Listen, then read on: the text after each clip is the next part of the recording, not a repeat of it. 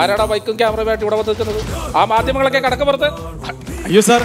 അത് മാധ്യമ പ്രവർത്തകരല്ല. അത് നമ്മുടെ മിമിക്രി മഹാമേളയുടെ ടീം ലീഡേഴ്സ് ആണ് നിൽക്കുന്നത്. അങ്ങനെയാണെങ്കിൽ ഒരു കുഴപ്പമില്ല സർ മിമിക്രി മഹാമേള കാണാറുണ്ടോ? ഞാൻ ഒട്ടുമിക്ക ദിവസങ്ങളിൽ കാണുന്ന ഒരു നല്ല പരിപാടിയാണ് ഈ മിമിക്രി മഹാമേള എന്നുള്ളത്. കേരളത്തിലെ ഒരുപാട് നല്ല നല്ല മിമിക്രി കലാകാരന്മാർക്ക് വേണ്ടിയിട്ട് തുടങ്ങിയിട്ടുള്ള ഈ പരിപാടി ഞാനും എന്റെ കുടുംബവും കാണാറുണ്ടെന്ന് മാത്രമല്ല വിദേശത്തൊക്കെ പോയി കഴിഞ്ഞപ്പോൾ അവിടുത്തെ മലയാളി കുടുംബങ്ങൾക്കെല്ലാം ഈ പരിപാടിയെ കുറിച്ചിട്ട് വളരെ നല്ല മതിപ്പാണ് ഈ പരിപാടി സംഘടിപ്പിക്കുന്ന മഴവിൽ മനോരമയ്ക്കും ഈ മിമിക്രി മഹാമേളയുടെ എല്ലാ പിന്നണി പ്രവർത്തകർക്കും സഖാവ് സുരാജ് വഞ്ഞാറമൂടിനും എന്റെയും എന്റെ സർക്കാരിന്റെയും അഭിവാദ്യങ്ങൾ. സാർ എപ്പോഴും ഉള്ളൊരു സംശയമാണ് എനിക്ക്. പല നേതാക്കന്മാരും നമ്മൾ വേദിയിൽ എത്തുന്നത് കണ്ടിട്ടുണ്ട്. അവർ എപ്പോഴും കൈ വീശിയാണ് വരാറുള്ളത്. പക്ഷേ സാർ എന്തുകൊണ്ടാണ് ഈ മുഷ്ടി പിടിച്ചുകൊണ്ട് വരുന്നത്? അത് മറ്റൊന്നും കൊണ്ടല്ല ഇപ്പോൾ ഇലക്ഷനൊക്കെ അടുത്തുകൊണ്ടിരിക്കുകയാണ്. അപ്പോൾ പ്രതിപക്ഷത്തിനും അവരുടെ പാർട്ടി ചിഹ്നത്തിനും വലിയ തോതിലുള്ള പ്രചാരണം കിട്ടാതിരിക്കാൻ ഞാൻ മനഃപൂർവം അവരുടെ പാർട്ടി ചിഹ്നമായ കൈപ്പത്തി മറച്ചു പിടിച്ചതാണ്. സാർ ഇവിടെ വരുന്നു എന്ന് അറിഞ്ഞപ്പോൾ തന്നെ ഇവിടെ ടീം ലീഡേഴ്സ് എല്ലാവരും കുറച്ച് ചോദ്യങ്ങൾ സാറിനോട് ചോദിക്കണമെന്ന് ഇവിടെ എന്നോട് പറഞ്ഞിട്ടുണ്ടായിരുന്നു. ആദ്യം ചോദ്യം ചോദിക്കണം എന്ന് പറഞ്ഞാൽ ഞങ്ങളൊക്കെ പ്രിയങ്കരനായിട്ടുള്ള ജാബിറാണ്. അപ്പോൾ അദ്ദേഹം എന്തൊരു റിക്വസ്റ്റ് ആയിട്ടാണ് ഇപ്പോൾ എന്താണ് ജബ്ബാറിന് ചോദിക്കാനായിട്ടുള്ളത്? ജബ്ബാറല്ല ജാബിർ. ജാബിർ. ജാബിറാണ് സഹവ അപ്പൊ നമ്മുടെ നാട്ടിൽ പറ്റ റോട്ടിലെല്ലാം കുണ്ടും കുയ്യല്ലായിട്ട് വണ്ടിയൊന്നും പോവാൻ കഴിയുന്നില്ല? അത്താകുമ്പോഴത്തേക്ക് എന്തൊന്നും വയ്യണ്ട നിർത്ത്. എന്തൊരു ഭാഷയാണത് ഞാൻ ഒരുപാട് രാജ്യങ്ങളിൽ പോയിട്ടുണ്ടെങ്കിലും ഇത്തരത്തിലുള്ള ഭാഷ ഞാൻ ഇതുവരെ കേട്ടിട്ടില്ല.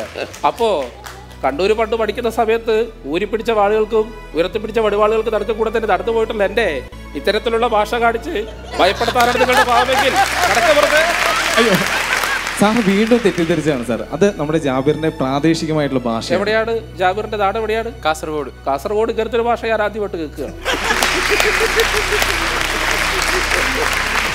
സാർ ഇതുപോലുള്ള ഒരുപാട് വേദികളിൽ നല്ല തമാശ പറഞ്ഞ് ഞാൻ കേട്ടിട്ടുണ്ട് ചിരിക്കുന്നത് കണ്ടിട്ടുണ്ട്. പക്ഷെ സാറിന് ചിരിച്ചുകൊണ്ടുള്ള ഒരു ഫോട്ടോ ഇതുവരെ ഒരു ന്യൂസ് പേപ്പറിലും കണ്ടിട്ടില്ല. ചില മാധ്യമ സർട്ടിഫിക്കറ്റുകൾ അങ്ങനെ പലതും കാണിക്കും. അല്ല സാർ അവർക്ക് വേണമെങ്കിൽ ഞാൻ ചിരിക്കുമ്പോൾ ഫോട്ടോ എടുക്കാം.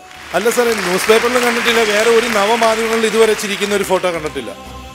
അപ്പോൾ ഞാൻ ചിരിക്കാറുള്ളതാണോ നിങ്ങൾ പറഞ്ഞു വരുന്നത്? അല്ല അങ്ങനെ കണ്ടിട്ടില്ല അതുകൊണ്ടാണ്. അങ്ങനെയാണെങ്കിൽ രാജേഷേ ഞാനൊന്ന് അദ്ദേഹത്തോട് ചോദിക്കുകയാണ്. ചോദിച്ചോളൂ. നിങ്ങൾ കുളിക്കാറുണ്ടോ? ഞാൻ കുളിക്കാറുണ്ട്. രാവിലെയും കുളിച്ച് വൈകുന്നേരം കുളിച്ച് ഇപ്പൊ ഷൂട്ടിന് വരുന്നപ്പോൾ തന്നെ കുളിച്ചായിരുന്നു. എന്നിട്ട് ഇദ്ദേഹം കുളിക്കുന്ന ഫോട്ടോ നിങ്ങളാരെങ്കിലും ഏതെങ്കിലും മാധ്യമങ്ങളിൽ കണ്ടിട്ടുണ്ടോ?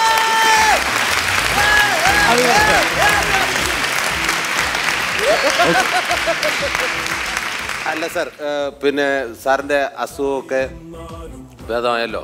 എനിക്ക് അസുഖമുണ്ടത് ആരാണ് പറഞ്ഞത്? അല്ല ഇങ്ങനെ മാധ്യമത്തിലൊക്കെ ഞാൻ വായിച്ചു എനിക്കാകെ ഒരൊറ്റ അസുഖമേ ഉള്ളൂ. ആരുടെ മുമ്പിലും ഞാൻ മുട്ടുമടക്കാറില്ല. അത് ഒരു അസുഖമാണെങ്കിൽ അതിന് മരുന്നില്ല ഉണ്ടെങ്കിൽ തന്നെ ആ മരുന്ന് ഞങ്ങൾ സ്വീകരിക്കുന്നുമില്ല. ഞാൻ ഈ പരിപാടി കണ്ട് കണ്ട് ഈ പരിപാടിയിലെ ഓരോ ആളുകളും അവതരിപ്പിക്കുന്നത് പോലെ വിമിക്രി ഞാനും പ്രാക്ടീസ് ചെയ്തുകൊണ്ടിരിക്കുകയാണ്. കഴിഞ്ഞ ദിവസം വിദേശയാത്രയ്ക്ക് പോയപ്പോൾ പത്ത് പന്ത്രണ്ട് മണിക്കൂർ വിമാനത്തിൽ പറക്കുന്ന സമയത്ത് ഞാൻ സ്പോട്ട് ഡംപ് ചെയ്ത് പരിശീലിച്ചുകൊണ്ടാണ് എന്റെ മോറടി മാറ്റിയത്. അപ്പം അതുകൊണ്ട് ഈ വേദിയിൽ നിങ്ങൾ എനിക്കൊരു അവസരം തരികയാണെങ്കിൽ ഞാൻ തന്നെ പറഞ്ഞിട്ടുള്ള ഒരു കാര്യങ്ങളും അതുപോലെ തന്നെ മറ്റു ചില സിനിമാ താരങ്ങളെയും അവതരിപ്പിച്ചുകൊണ്ട് ഞാൻ ചെറിയൊരു സ്പോട്ട് അപ്പ് ചെയ്ത് കാണിച്ചു തരാം. തീർച്ചയായിട്ടും.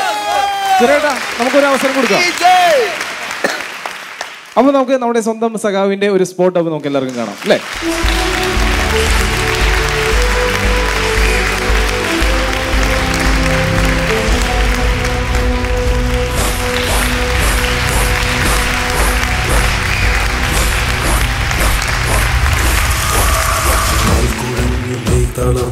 മധ്യപ്രദേശിലെ എന്റെ യാത്ര തടഞ്ഞതിനെ പറ്റി നിങ്ങൾ സംസാരിക്കുന്നുണ്ട്. ഒരു മുഖ്യമന്ത്രി സ്ഥാനത്തിരിക്കുന്ന ആളെന്ന നിലയ്ക്ക് ഒരു സംസ്ഥാനത്ത് ഞാൻ ചെല്ലുമ്പോൾ ആ സംസ്ഥാനത്തിന്റെ ഗവൺമെന്റ് പറയുന്ന കാര്യങ്ങൾ അംഗീകരിക്കുക എന്നത് ഒരു മര്യാദയാണ്. അതൊരു മുഖ്യമന്ത്രി സ്വീകരിക്കേണ്ട മര്യാദയാണ്. ആ ഗവൺമെന്റ് എന്നോട് പറഞ്ഞു അങ്ങോട്ട് പോകാൻ പാടില്ല എന്ന്. ഞാനതനുസരിച്ചു. മുഖ്യമന്ത്രി അല്ലാത്ത പിണറായി വിജയനാണെങ്കിൽ ഇന്ദ്രന്റെ ചന്ദ്രന് എന്നെ തടുക്കാനാകില്ല എന്ന് നിങ്ങൾ മനസ്സിലാക്കിക്കൊള്ളണം. അതുകൊണ്ട് ആ വിരട്ടലൊന്നും ഇങ്ങോട്ട് വേണ്ട. എന്തിനു വെറുതെ അത്തരം പ്രയോഗങ്ങൾ നടത്തുന്നു? കൊള്ളാമല്ലോ.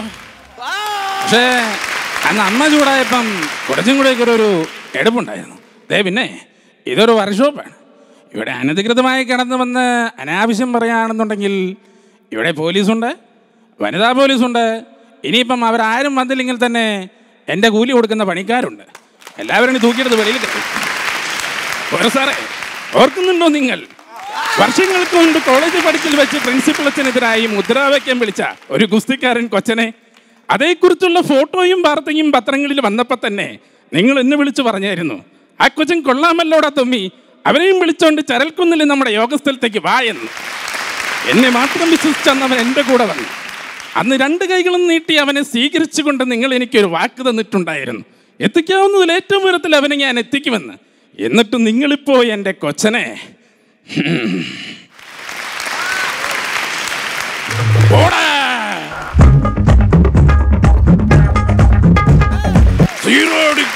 ഇരുപത് കൊല്ലം തോക്കും തോട്ടയും എന്ത് അതിർത്തിയിൽ നോക്കിയിരുന്നതിൽ ആക്ക് പിടിച്ച് കൊക്കിന് വെടിവെക്കാനല്ല പല പല പ്രശ്നം പന്ത് പിടിച്ചത് റമ്പ് കുടിച്ചത് തിന്നു പിടിച്ചത്. താടിന് നന്മയ്ക്ക്.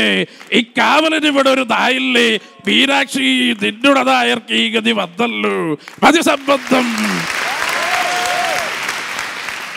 സിമ്പിൾ ജാവ വളരെ സിമ്പിളാണ് പവർഫുൾ ഭയങ്കര പവർഫുള്ളാണ് അല്ലേ? പിന്നെ സേഫ് ജാവ വളരെ സേഫാണ് മനസ്സിലാവുന്നുണ്ടോ?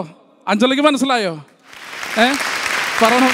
എല്ലാവരും കേൾക്കാനാ പറയുന്നത് മനസ്സിലായില്ലെങ്കിൽ പറയണം. ഓക്കെ? പിന്നെ റോബസ്റ്റ് പഴമാണ്. പഴമല്ല.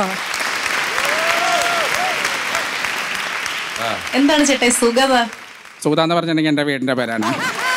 അപ്പോൾ സുഗത എന്ന് പറഞ്ഞിട്ടുണ്ടെങ്കിൽ ആക്ച്വലി സംസ്കൃതമാണ് സുഗതായകം എന്നാണ് അർത്ഥം. ഇതങ്ങനെ വന്നു വെച്ചിട്ടുണ്ടെങ്കിൽ പഠിക്കുന്ന സമയത്തൊക്കെ സുല്ലെന്നുള്ള പേര് ഭയങ്കര കോമൺ ആയിരുന്നു. അപ്പോൾ ഒരേ ക്ലാസ്സിൽ തന്നെ അഞ്ചാറ് സുല്ലുണ്ടാവും അപ്പോൾ നമ്മുടെ നാടകത്തിൽ വന്നപ്പോൾ എന്റെ സുഹൃത്ത് രഞ്ജിത് പള്ളി എന്റെ സുഹൃത്ത് ഞാൻ നാടകത്തിൽ കോസ്റ്റ്യൂം ചെയ്തിരുന്നു. അപ്പോൾ എന്റെ വീടിന്റെ മുകളിൽ എഴുതി വെച്ച കണ്ടെന്റെ സുഹൃത്താണ്. അപ്പോൾ അയാൾ നോട്ടീസിൽ എഴുതി വെച്ചു സുനിൽ സുഹൃത്താണ്. എന്നോട് പോലും പറയാതെ പിന്നെ പേര് അങ്ങനെയായി എനിക്കറിയില്ല നിന്റെ മാമനെ? കേട്ടപ്പനെ സ്വന്തവരിക്കുന്ന നേരത്ത് പത്ത് രൂപയുടെ വയറ് പൊട്ടി ചായയും വാങ്ങിച്ച് അതിലൂടെ അയാളെ പൂച്ച എടുത്തോട്ട് പോയപ്പോൾ ആ പൂച്ചയുടെ പുറകെ അഞ്ച് കിലോമീറ്റർ ഓടി അതിന് പിടിച്ച് പാലത്ത് കയറിച്ച് വയറ്റിൽ ഈക്കൽ കാണിച്ച് അത് കക്കിച്ച് എന്നിട്ട് ആ ചായല കൊണ്ടുപോയി കോട്ടപ്പുള്ളിയിട്ട് കറി വെച്ച മരം കൊത്തി മോരനാണ് നിന്റെ മ്യാമൻ അഥവാ എന്റെ താറിയ അറിയാൻ എന്നോട് ചോദിച്ചു ആരുമല്ല ഒരു വഴിപോക്കരാതെ എഴുതിയാൽ മതി. വിശന്ന് വലഞ്ഞ് കയറി വന്നിരിക്കുക അരിഞ്ഞാഹാരതരകം പെൺകുട്ടിയുടെ മനസ്സുണ്ടല്ലോ. അതാണോ തനിക്ക് കിട്ടാൻ പോകുന്ന ഏറ്റവും വില കൂടിയ സ്ത്രീധനം.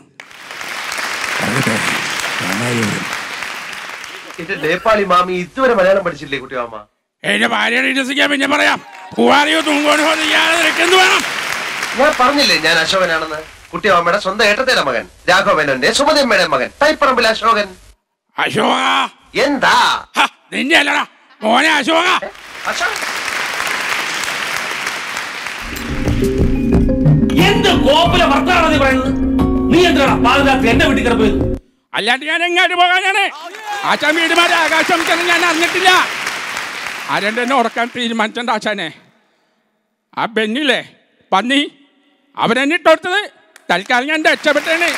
അവന്റെ പണി കൊടുത്തണ്ട്. തൽക്കാലം കയ്യട്ടെ എന്നിട്ട് വെയിറ്റ് ചെയ്യാനാണ് താങ്ക് യു